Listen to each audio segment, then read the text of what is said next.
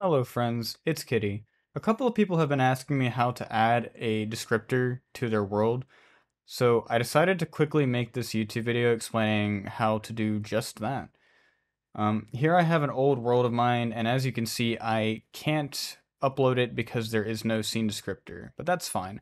I'm going to quickly create a new object and rename it VRC world, but you can actually name it whatever you want. It doesn't matter at all. And then under the inspector tab, I'm going to come over here and click add component. And then I'll type VRC and here you can see all of the possible components related to VRChat.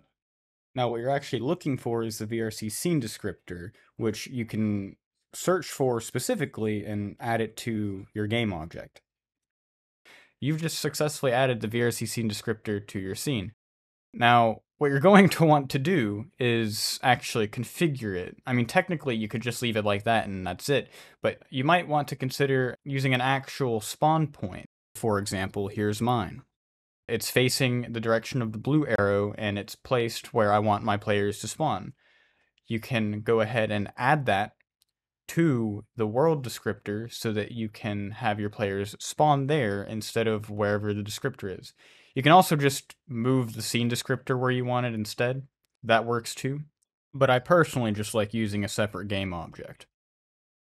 Another thing that I recommend setting up is actually a reference camera, which is just a camera in your scene that's settings are duplicated for everyone in the world. This means that if you apply post-processing to this reference camera, then everyone who joins the world will have those effects applied to their screens.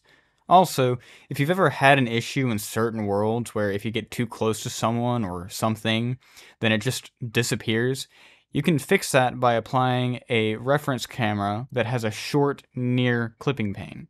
And that's pretty much the gist of it. You can look at other settings if you want. I actually changed two while I was talking a second ago. I'll explain those in the description, but you've pretty much just set up the VRC scene descriptor and you're good to go ahead and upload your world now.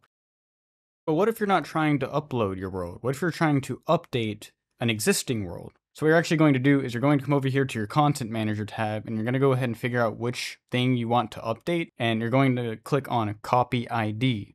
What you're going to do with this code is you're going to take it over to the VRC scene descriptor where you might notice another component was automatically added, which is called the pipeline manager. You're just going to paste the code into the pipeline manager and click attach.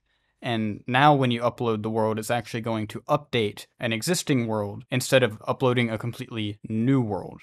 And that's pretty much it. You are now armed with all the basic information you need to know about the VRC scene descriptor. Hey guys, Thanks for making it to the end of the video. I really appreciate it. I'm just starting out and I'm really new to this whole video making thing. I can tell that it's something that I really want to do though, because I enjoy helping other people, especially after reading everyone's comments from my last video, how they were telling me that I was helping them and that I helped them figure something out. It just warmed my heart and made me feel really good. So I'm going to continue trying to make these videos when I can in order to help other people out. I also wanted to thank my one Patreon supporter for their continued support. They've been supporting me for literally 22 months now. Like, thank you so much, Lucy Boo, for your continued support. I really do appreciate it. Also, from henceforth, if you want your name at the end of one of my videos, you can join my Patreon at patreon.com slash kittyhanahara. You can join the lowest tier. I will still put your name on there. Also, I do have a Discord server that's been going on for about a year now. If you'd like to join that, feel free to. You can find it at discord.gg slash kdt.